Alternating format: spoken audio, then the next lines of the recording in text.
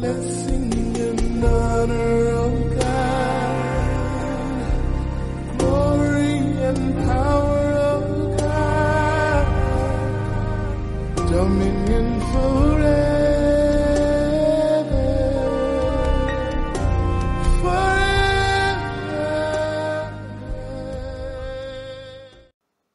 Shalom, shalom, everyone. Welcome back to the study of the laws. Today we're looking at sacrifices performed for Passover and offerings brought to the temple for those three pilgrimage festivals where the Israelites traveled to Jerusalem to assemble at the temple. And those were the Passover, the Feast of Weeks, and Sukkot, tabernacles. We talked about these three festivals in laws number 96 through 107 in the beginning of the study. So the assembly that was commanded in those laws, we see in these laws, was to be at the temple. That is where they assembled. So, first looking at the procedure for animal sacrifice during Passover, the Passover lamb was to be chosen on the 10th day of Nisan, one male lamb without blemish. That was a one year old lamb, one per household, which could be shared with other households if the lamb was large enough. It was to be chosen on the 10th and kept until the 14th, when they were to kill it in the evening. Its blood was to be spread on the three beams of the doorposts. It was not to be boiled, but roasted with fire, and eaten that night with bitter herbs and unleavened bread, according to Exodus 12, verse 8. Any leftovers would be burned the next morning. With the building of the temple, the sacrifice of the Passover lamb was performed there instead. They all brought their lambs there for sacrifice, and the head of the household performed the sacrifice instead of the Levite, although the Levites were present to assist. The head of the household must be ritually pure.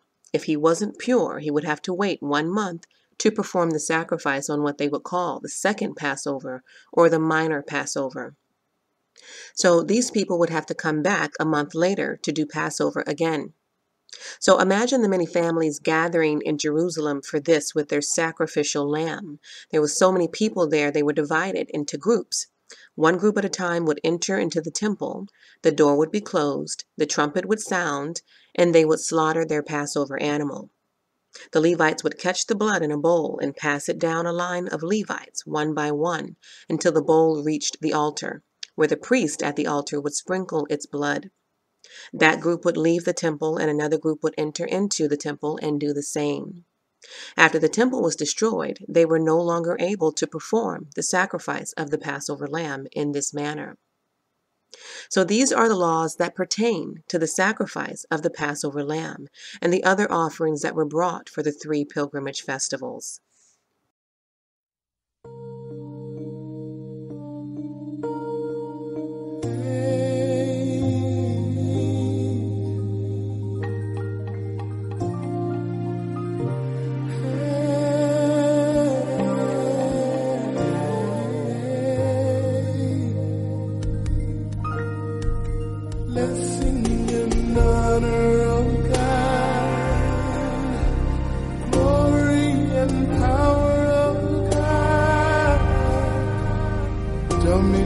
For